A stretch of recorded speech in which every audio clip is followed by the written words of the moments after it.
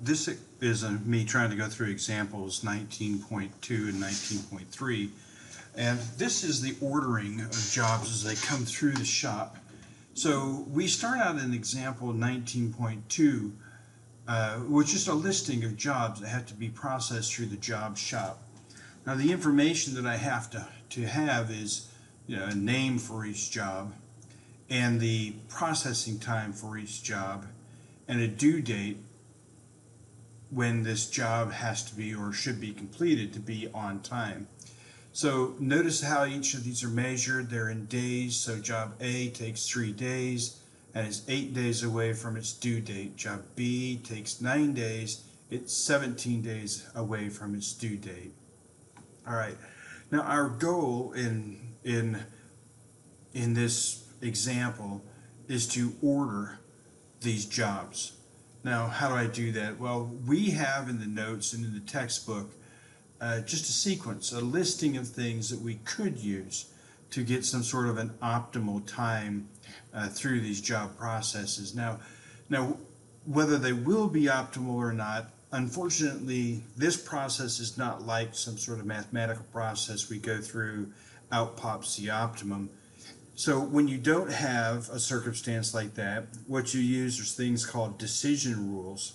And your author gave a list of five different decision rules. We're going to go through four of them in example 19.2, one of them in example 19.3. So the first one is why don't we just set up the jobs first come, first serve? So these jobs are ordered already as first come, first serve. And so what do I have? Okay, I'm going to do job one first.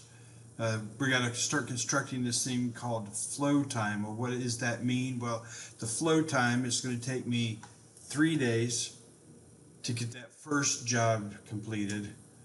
And then it's going to take me three days plus nine days to get the second job completed.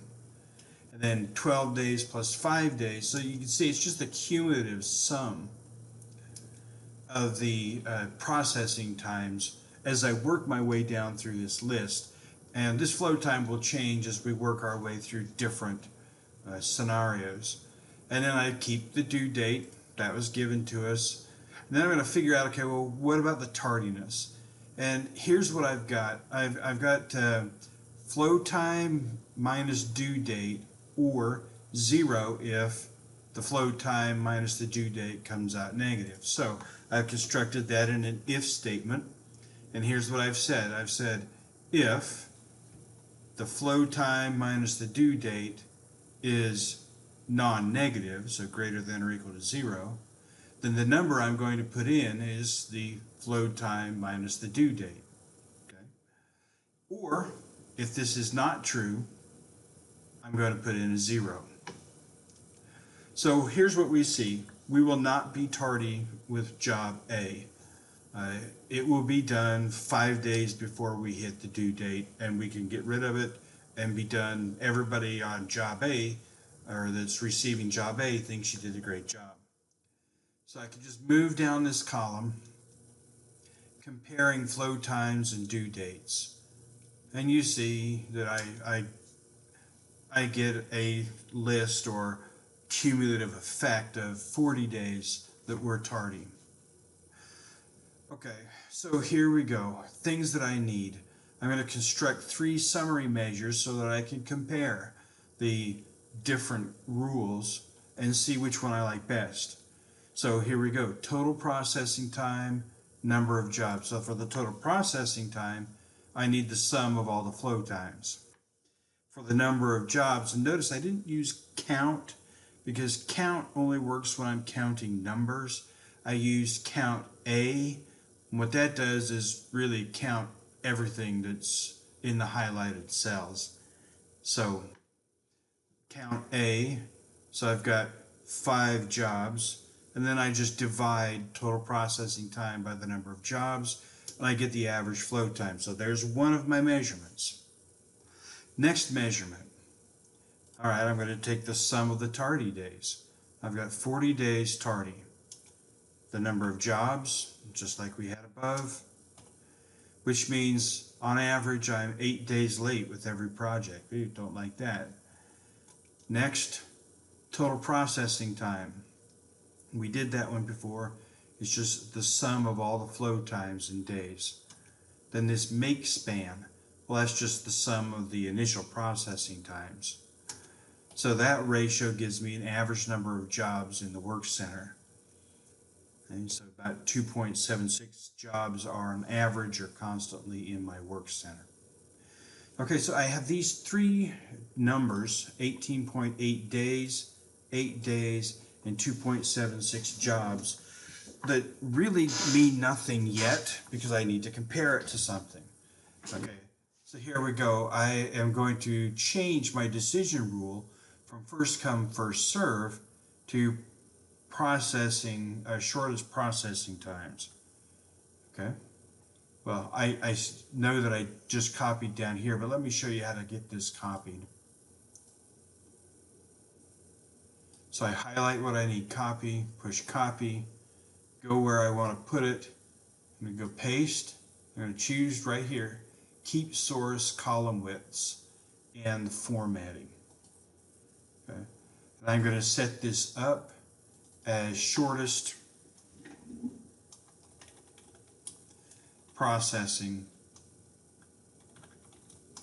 times.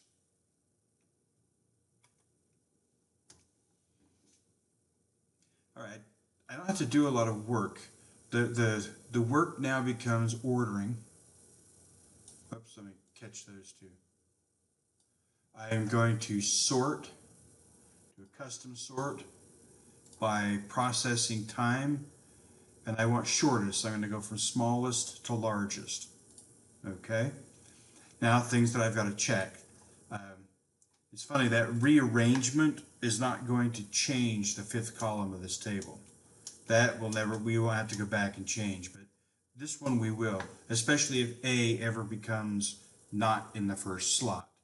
Well, we got lucky, A is still in the first slot, so this cumulative process is still at work. All right, I want to keep my formatting, so I'm going to format painter, paint it. Now, all these are, are unaffected, all of my summaries. So let's look and see what happened. Uh, process A is still on time, process E is now on time, uh, C is three days tardy, B is six days tardy, D is 16 days tardy my average flow time has declined, as has my average tardiness. And then this uh, average number of jobs in the work center is declining as well. So decline is what we want. In all three of these summaries, decline is good. All right, I just followed that process with the earliest due date. Again, I copied, I ordered.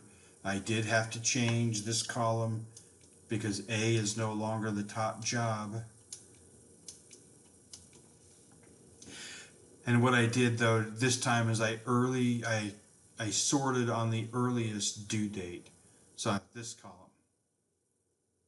And what happened? Well, my average flow time went up a little bit. My average tardiness went down. And my average number of jobs in the work center went up. So I have two goods, one bad. I'm sorry, one good, two bads, one good, two bads. Finally, I tried out the longest processing time. Again, I copied my table, just the last one, and I reordered based on processing time. So I reordered, processing time is here, and I want the longest processing time. So I started D is going to be done first. D will get done on time, but that's the only one that's going to get done on time. Okay? Once again, I had to check this column so that I get this cumulative thing going correctly. Okay. Now, what happened? My average flow time went up. In fact, that's my worst, uh, almost the worst of my flow times. My average tardiness went way up. I'm not going to be choosing this longest processing. And my average number of jobs in the work center also went up. So it looks like if these are my four orderings, it looks like I'm going to want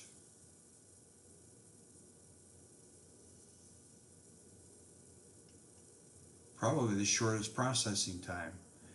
side by side would be a better way to compare these, meaning I might want to put these three measures side by side and find out which has the best in the three measures. That's what I'm looking for as I look. Okay? So there's example 19.2. Uh, hopefully, uh, by the way, you should note your author has a mistake in this cell uh, on his last table. That's okay. I make mistakes. Your author made a mistake and it altered his analysis just a little bit. Uh, I will tell the author that that happened. They'll fix it for next time. But for right now, we just know and pat ourselves on the back for finding this error. So the uh, next example will be example 19.3 and it'll be a little bit shorter video.